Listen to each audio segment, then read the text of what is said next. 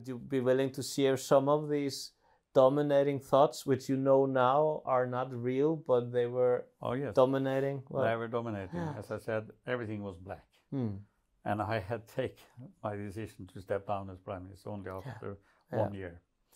Uh, but the my minister of foreign affairs convinced me not to do. hmm, So I got six and a half, uh, five and a half years more as Yeah. prime minister. mhm, And that is also important message. It's possible to come back in job, yeah, even as prime minister, yeah, after having Depression, had the depression. mm, I did.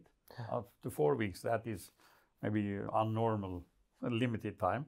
But I came back and I was re-elected at the next election Mm. In 2001. yeah. That was That's also- amazing. That's, That was amazing and uh, very interesting. mm, Um, I had also the very strange experience that I felt that I had no value as human being. Yeah, worthless. Yeah, Yeah, it was down to zero, no Mm. Yeah. value yeah, as a human being. mm, And I told my family, I'm sorry, I have no value. mhm, If you want to get rid of me, do. But then my wife and my children said, no, at least you have value for us. mhm, You mean so much to us. And that was, in a way, the beginning to be built up again. Yeah.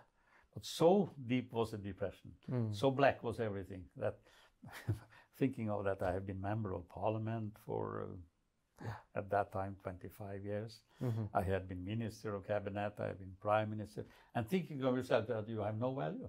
mhm, But I really did. It's serious. yeah, So, so, but of course, they helped me to mhm, to start thinking, and yet you have at least a value for us.